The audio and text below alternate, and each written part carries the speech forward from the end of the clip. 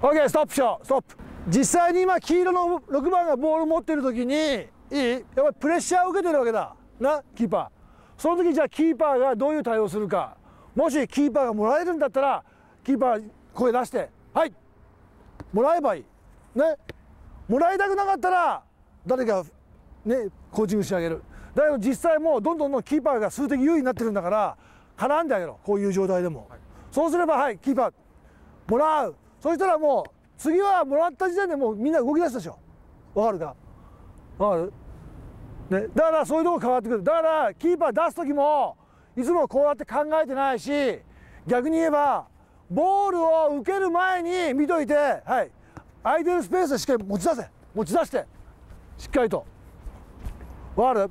足元でボールを止めて考えないよ。